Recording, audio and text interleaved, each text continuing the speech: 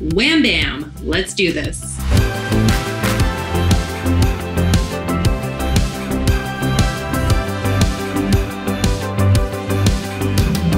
What is up? Kim Tashima Newberry here for a long overdue video. It has been a while, like literally years.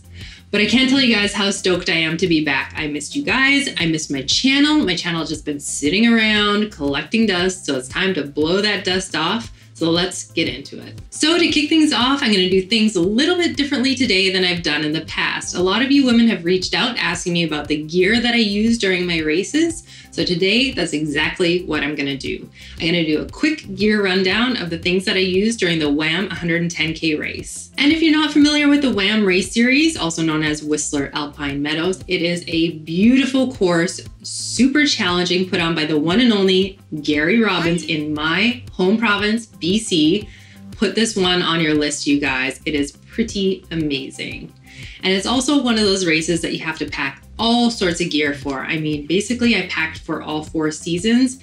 Plus, on top of that, they did have a required gear list. And if you want more information on the gear that I talk about today, or if you want to snag it for yourself, I will put links in the description below. The links are, of course, affiliate links. They cost you nothing, but they do help to support the channel. Use them or not, totally up to you. And without further ado, let's dive in. So for the gear rundown, I'm gonna start from the head to the toes, and then we'll finish with all the rando bits and pieces at the end. And first up is the Tiger Claw trucker hat.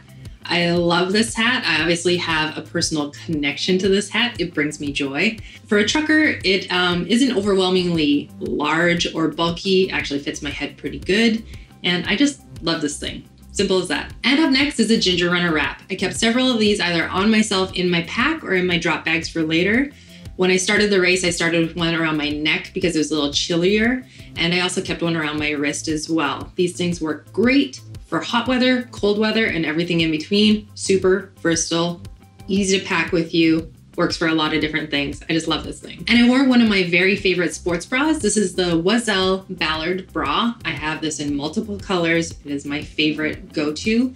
The material is super soft, it doesn't chafe, and it has enough support for me. I mean, let's be honest, I don't need a lot of support, but it has plenty. And for a top, I went with the Rabbit Easy Tee Heathered Long Sleeve. This material is one of my all-time favorites.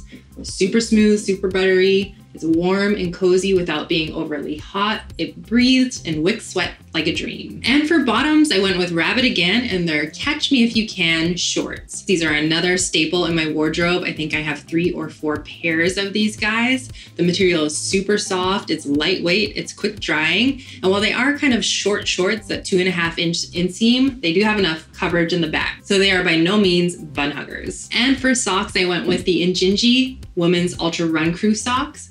If you followed me for a while, you know that I am a big fan of these toe socks. I wear them all the time.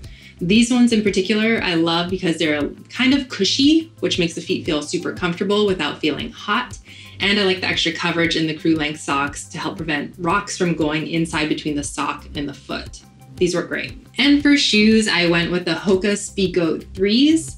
I love these shoes. This is my second pair of the same version of this shoe. The Vibram outsole on these I felt was grippy enough to handle the type of terrain I was going to encounter during WAM. The mud, the rocks, the technical descents, I felt like these were going to do a really, really good job. I also love how cushioned these feel. I felt super confident that I was going to be able to stay in the same pair of shoes for the entire day and night. And since we are on the topic of shoes and socks, full disclosure, I did get a blister during WAM. Typically, I am good to go with this shoe sock combo, so I'm not really sure what happened. I don't know if it was a piece of rock or dirt that got inside my sock or what happened, but generally, I am good to go. And that wraps up most of the clothing that I wore during WAM, so let's move on to accessories. And up first is the Outdoor Research Melody Sensor gloves. I personally get very, very cold hands very, very easily. I love these gloves because the material is super cozy, super warm, but fairly lightweight as well. Don't let the fact that these look like little dainty lady driving gloves fool you. These things actually kept my hands very, very warm. And another feature that I love about them is they have a little bit of an elastic around the wrist, which makes it super easy to pull them on and off even while you're running. Poles. For this race, I use the Black Diamond Carbon Z poles. I've had these poles for years, have never had a problem with them. They're lightweight, they work. There's not much else to say about them. They're poles. And now to talk about my favorite part of trail running the snacks.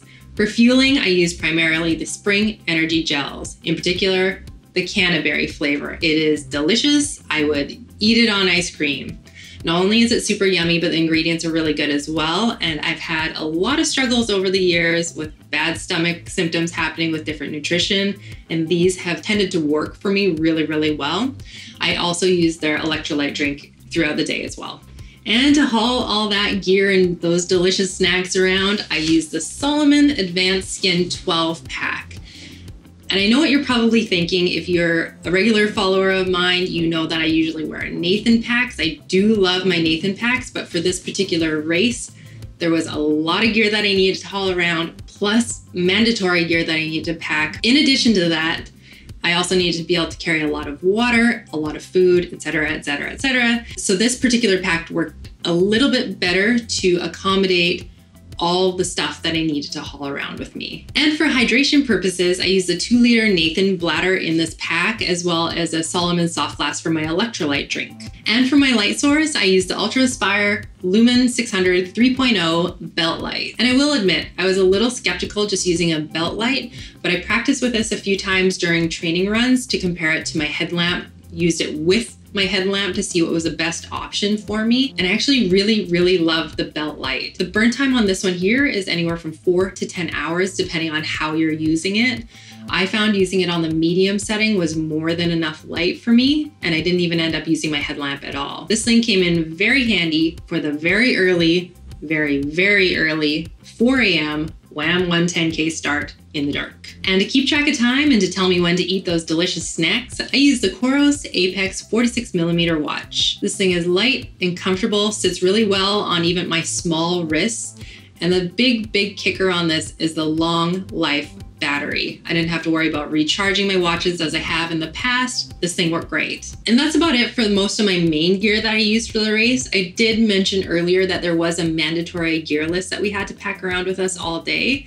So I just want to do a very, very quick rundown of that as well. So we were required to carry a headlamp with us at all times. So I carried the Nathan Neutron Fire headlamp, which is super tiny as you can see. It just fits into the pack. Didn't really notice the extra weight at all. We're also required to carry an emergency bivy with us at all times. This one here is super tiny and compact as you can see, worked great. And a toque or a beanie, whatever you want to call it. I use this North Face one here. An extra long sleeve shirt. So I brought the Oiselle flyout wool shirt. We're also required to carry a pair of pants with us. So I opted for the Outdoor Research Waterproof Helium pants and a waterproof hooded jacket. Again, Outdoor Research Helium jacket. Also, as part of my kit, I had a pair of REI Gore Tex gloves, which were waterproof and windproof. These work so great over the little gloves that I had earlier or a pair of fleece gloves. I love these things, they have saved my life. And the final item on our mandatory kit, which I don't have with me right now, is a whistle, which is of course attached to the front of my Salomon pack. And to finish off this video, a couple bonus items. First off is a Squirrels nut butter. It's lube, y'all. I love using this on the bottoms of my feet. I used to have a lot of problems with blisters before, but this works like a charm. And to keep me stink free, I like to use the native deodorant. It's paraben and aluminum free. It comes in tons of yummy scents. And even though it wasn't the dead of the summer and I knew it was likely going to be overcast, sunscreen. Supergoop everyday sunscreen, 50 SPF. I wear it all the time, even when it's cloudy, rainy, whatever. Protect your skin, you guys. Just do it. And that is it. And just a reminder that was just a quick rundown of the gear that I used for WAM. Keep your eyes peeled on this channel in the future. I'll be doing some reviews on some of the products that I mentioned today. And don't forget to like, subscribe, share this video, and pet a dog. Leave me a comment below. I'll do my very best to get back to each and every one of you guys if you have questions, comments, whatever. Let's get that conversation rolling. Once more, thank you guys again. Thank you for being patient with me. Thank you for tuning in again. I really, really appreciate you guys all. And I can't stress how excited I am to be back, to have my channel back. Tune in for more videos. Thank you guys. Goodbye.